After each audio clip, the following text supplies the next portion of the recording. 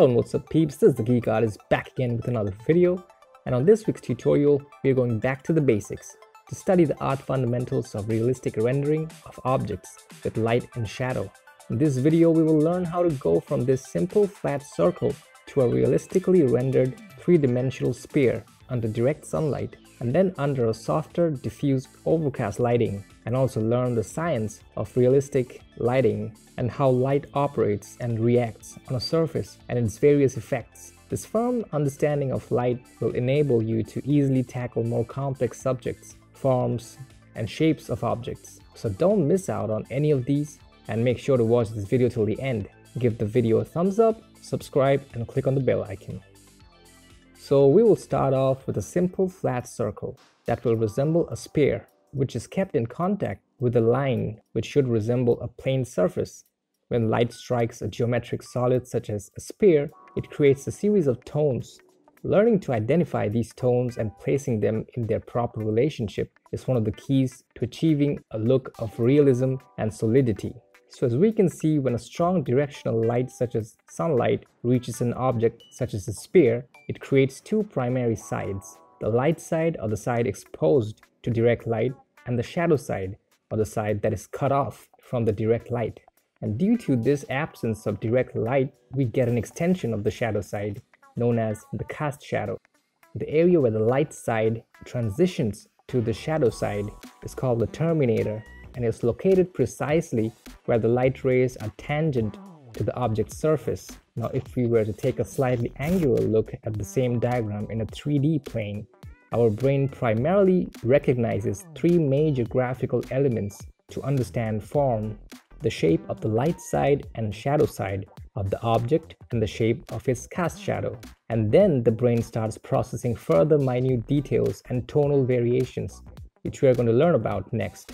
Now, with a basic understanding of form, let's start the rendering process. Now, as a reference guide, I'll be keeping the two previous diagrams open on the top right corner. So now we have a flat circle shape and we'll try to paint in the three major graphical elements, light side, shadow side, and cast shadow. And we'll start with the shadow side. I'm keeping the light ray arrows on for reference for the tangent on the sphere surface where the terminator will be located. Now I've taken a new clipping mask layer and with the large soft round brush set at around 12% opacity, I'm painting the shadow side with a dark gray color I picked from the corner diagram shadow. Once I have a soft tonal transition from light side to the dark side, I'll start painting a slightly sharper and darker line in the middle to create the terminator from one tangential point to the other. Now we have a clear distinctive division between the light and the shadow side. Now I'm painting some soft darker tones on the light side near the terminator to create some halftones the halftones will originate from right beyond the terminator, start as a dark halftone, then fade out to light halftones and gradually transition to the highlight area. Now that we have the first two major graphical elements, it's time for the third, the cast shadow. To create that, I'll be duplicating the main circle shape, set it to a multiply blending mode, transform it down to a narrow oval shape, and adjust it so that the two horizontal tips meet where the first two rays of the light meet the surface to get an accurate length of the shadow. Then with levels adjustment I'll make it darker to match the value of the shadow side of the sphere. And finally I'll select the right half of the cast shadow and add some motion blur to the tipping point edge to add some realism. I can turn the light rays off now. So now that we have all three major graphical elements down, we can start adding the other secondary informations. So I'll take a new layer, add some dark halftones, and then start painting the highlights with a very low opacity soft round brush. Next, I'll come to the cast shadow area, and with a much darker gray, I'll paint the occlusion shadow within the cast shadow area, specifically near the contact point between the sphere and the ground.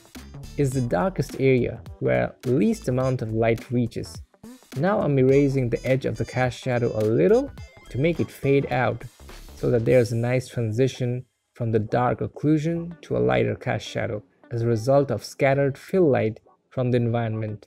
What we'll draw next is bounce light or reflected light. First I'll paint some bright highlights on the ground plane just ahead of the sphere to show the intensity of the direct light hitting the ground surface. Next I'll come to the sphere, take a new layer, pick the highlight color and gently paint a soft light in the lower shadow area, which is the reflected light bounced back up from the ground plane.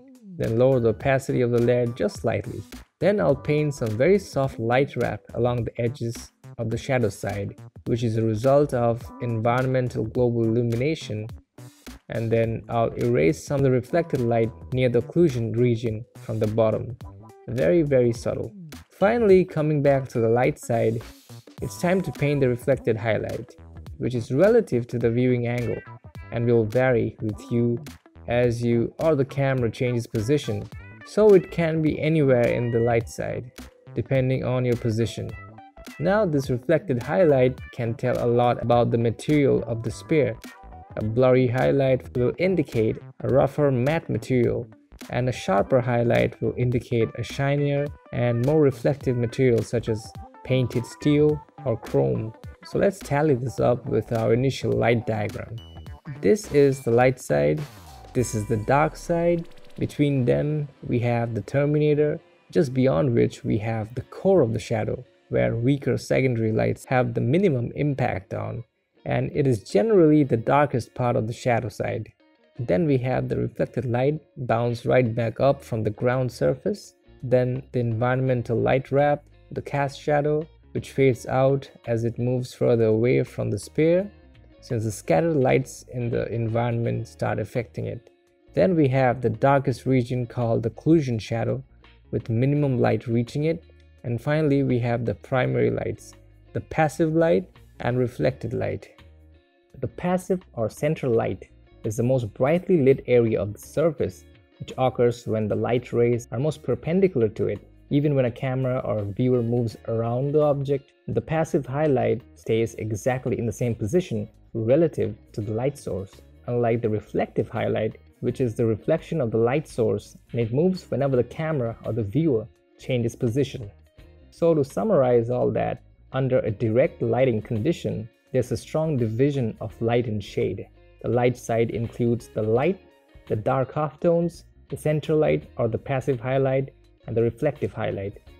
The shadow side includes not just darkness but the effects of the weaker sources such as reflected light bounced back up from the surface, a globally illuminated wrap along the edges, and finally the core of the shadow and the darkest part at the area of contact called the occlusion shadow, which then leads on to the cast shadow.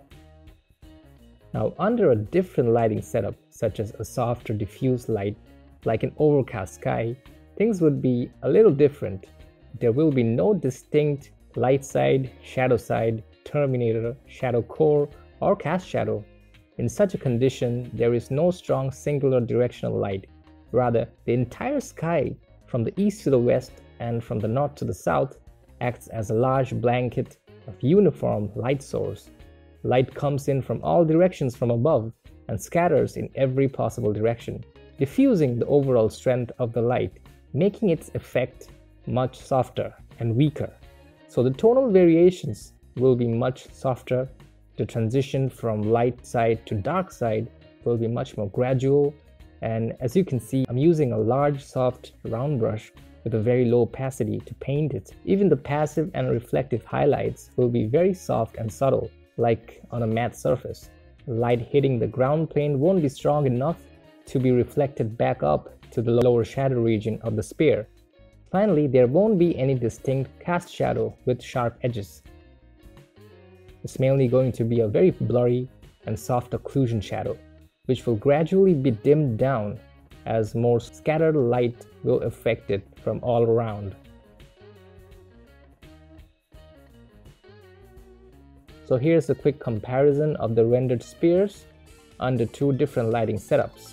I hope you found this video useful and if you did, don't forget to subscribe and click on the bell icon to get notifications about my upcoming videos.